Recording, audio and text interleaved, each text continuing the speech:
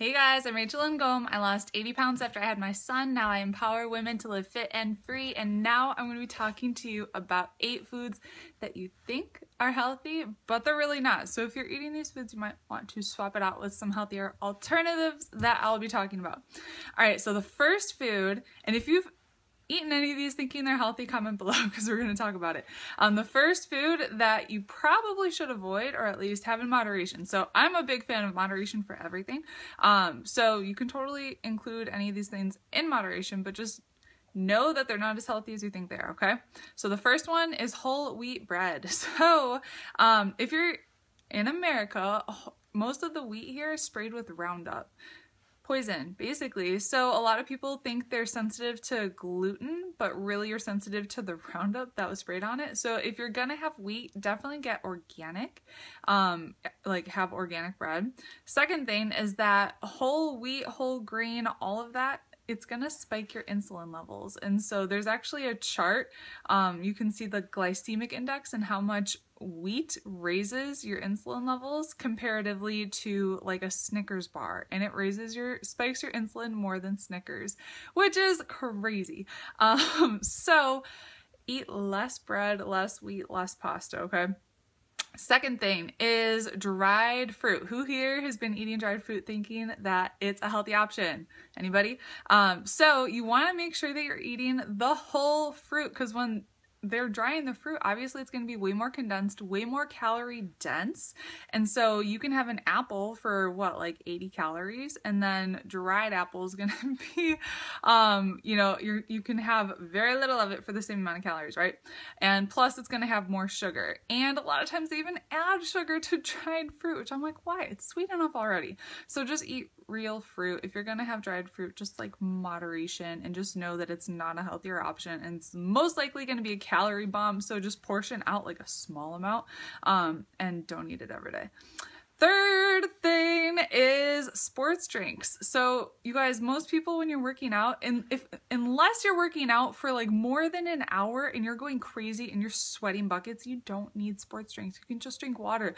The only time I've really ever had sports drinks is when I was doing doubles in college for volleyball. So I was working out like six to eight hours a day in a hot gym in the summer. And I was like, we would literally soak through, I'm not even joking, like five shirts in a practice. Like it was just insane. And we were like slipping on each other's sweat. It was so gross. Um, but that's the only time I've really ever had sports drinks. If I'm just doing like a regular workout, I only drink water. Um, sometimes I'll have Energize before workout. And if it's a really tough workout, I'll have some hydrate too. Um, but that's, I think it's like 40 calories a serving with way less sugar than a regular sports drink. Prepared salads or like salads at a restaurant. Oh my god, so we were at TGI Fridays this past weekend when we were on a girl spa trip and the sal they have the calorie counts on the menu. Hallelujah. They didn't used to, so most people will just like they won't even think about it, right? One of the salads at TGI Fridays has over 1200 calories in it. That's almost a day's worth of calories in a salad that most people think is healthy, right? And all the other salads had between 600 to 900 calories in them. I'm like, "Oh my god, there was nothing that was like a healthy option at TGI Fridays." I was shocked.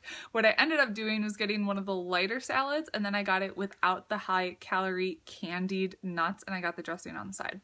So if you're gonna get a prepared salad, just beware if it has like candied nuts and creamy dressing and bacon bits and tortilla strips and all of these like high high calorie options it's it's gonna be it's gonna be high in calories right so just know that and be aware um, fruit juice, kind of the same thing as dried fruit, right? So it you're much better off just eating food in its most most natural state. So just eating the apple so you're actually getting the fiber as opposed to drinking the apple juice, okay? So if you're someone that's drinking a lot of juice and you're wondering why you're not losing weight, swap the juice with water because one cup of juice can have like 100 calories in it, right? Over the course of a year, you can lose 10 pounds just by swapping that one cup of juice with water.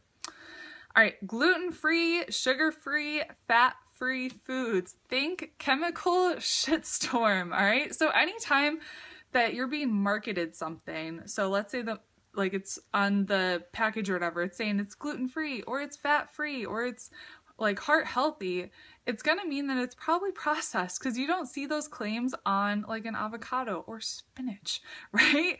Um, so anytime they're like taking out gluten, they're adding in some kind of filler preservative something. Anytime they're taking out sugar, they're adding artificial sugar and it doesn't taste as good. Anytime they're taking out fat, they're adding more sugar. So just eat the real food and eat it in moderation. Have a piece of high quality dark chocolate as opposed to sugar-free chocolate, which tastes like garbage. I would much rather have the dark chocolate, right?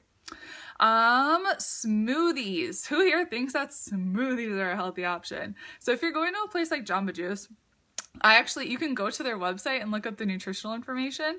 So one, let me find it. Let me, let me find it. It was one, it was one of like the healthier ones. A medium-sized strawberry surf rider has 98 grams of sugar in it. I was like, oh my freaking god. So if you're gonna have a smoothie, make it yourself at home with one to two pieces of fruit. Anytime you're gonna order a smoothie at like a restaurant or a place like Jamba Juice or a smoothie bar, they're gonna, it's gonna be so packed with sugar in it. So first eat the real food like just eat the fruit. But if you really want a smoothie make yourself at home um because it's insane. Another option that they had um gosh it was like the peanut butter smoothie has 980 calories and 131 grams of sugar. And right next to it it has all these marketing terms saying that it's like healthy. So it's saying no artificial flavors no artificial preservatives. It's gluten free no high fructose corn syrup zero grams of trans fats as well as 2.5 servings of fruit. So this is healthy um no, it's not. And the last food that you think is healthy, but it's really not, is yogurt. So who here has like Dannon fruit on the bottom yogurt or something like that? Not healthy option. So I, I do like yogurt, but when I get it, it's gonna be whole fat yogurt and it's gonna be plain. I love um just plain Greek yogurt that's full fat. I don't get fat free yogurt because anytime again, anytime it's like man-made stuff, they're changing it. So and look at okay, so one six ounce serving of Dannon fruit on the bottom yogurt has 25 grams of sugar in it you could have two and a half Krispy Kreme donuts for the same amount of sugar. I'm not saying eat the donuts, but I'm just saying if you're getting a fruit flavored yogurt, even if it's marketed as fat free, um, they're gonna add a ton of sugar in it. Okay, so just be aware of it. So the eight foods that you think are healthy, but they're really not whole wheat bread, dried fruit, sports drinks, prepared salads, fruit juice, gluten-free, sugar-free, fat-free, chemical shitstorm foods, smoothies, and yogurt. Do you have any of these often? And if you do, are you going to swap them out for something that I talked about? Do I have a super healthy dressing I would recommend? So, okay, most salad dressings, they actually make it with canola oil because if olive oil will become like solid at room temperature. Um, so I don't recommend canola oil. So what I do is I make my own and you can obviously just Google like a healthy salad dressing recipe, but I just use olive oil, vinegar, some herbs, salt, pepper, garlic, mustard, and just shake it up. Plain goat milk yogurt. I don't know if I've ever had goat milk yogurt. I might have.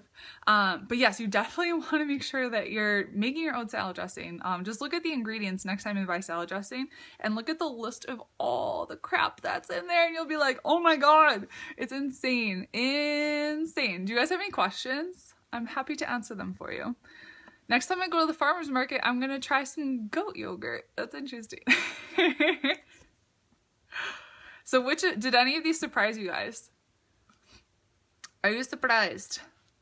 It's just knowledge, applied knowledge is power. So the more you know, the better you can do. And if the whole thing I talked about wheat, if that interests you, two books that I highly recommend, um, Grain Brain and Wheat Belly.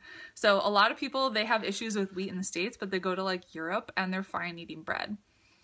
I'm telling you, like the food in the States, it's really messed up it's really, really messed up. Um, but if you guys have any questions, comment below and I'm happy to answer them for you. I'll make sure to jump back on and um, comment and answer the questions for you. So I hope you have an amazing day. If you found this helpful, make sure to share or tag a friend below. Have an awesome day. Bye guys.